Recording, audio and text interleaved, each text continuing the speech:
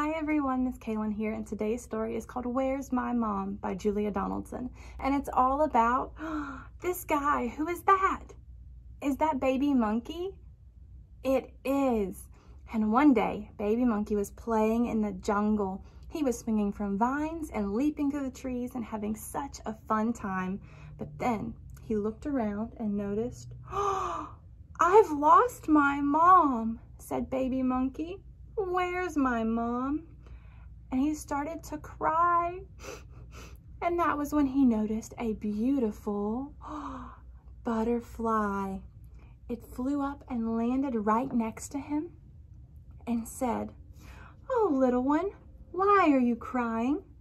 And Monkey said, Well, I've lost my mom.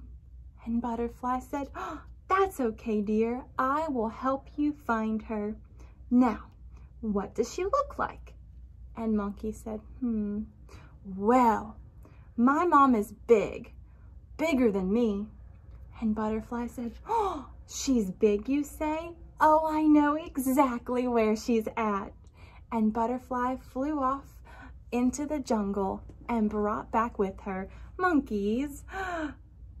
Mom? That's not my mom, said Monkey. That is an elephant. My mom doesn't have a long trunk or tusks.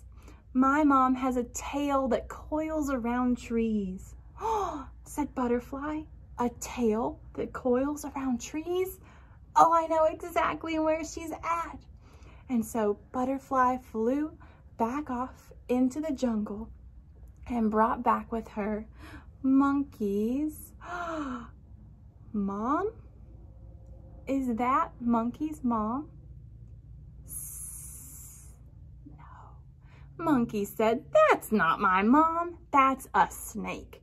My mom doesn't hiss and she doesn't slither around on her belly. My mom has way more legs than that. said Butterfly, oh, she has lots of legs. I know exactly where she is. And so Butterfly flew back off into the jungle. And when she came back, she brought with her monkeys. Mom? That's not my mom, said Monkey. That is a spider. My mom doesn't have a hairy black back and she has way too many legs. My mom has way less legs than that. And she likes to live in the treetops. said Butterfly. The treetops? Oh, I know exactly where she is. And so Butterfly flew back off into the jungle. And when she came back, she brought with her monkeys. Oh, Mom, is that Monkey's mom? No, that's not my mom, said Monkey. That is a parrot. My mom doesn't have a beak and she can't fly. My mom leaps and springs, said Butterfly. Oh, oh, she leaps and springs. I know exactly where she's at. And so Butterfly flew back off into the jungle.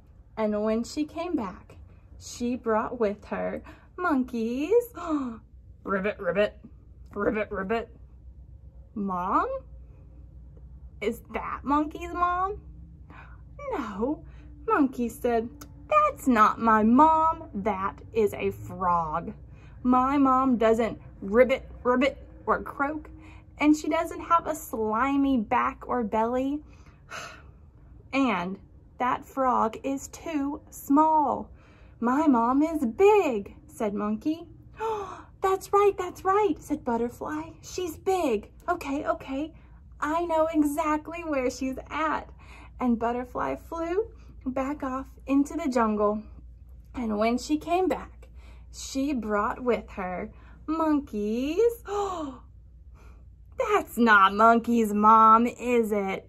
No, who did we say this was? It's Elephant. That's not my mom, said Monkey. That's Elephant. And besides, none of these animals look like me. What? said Butterfly. what do you mean?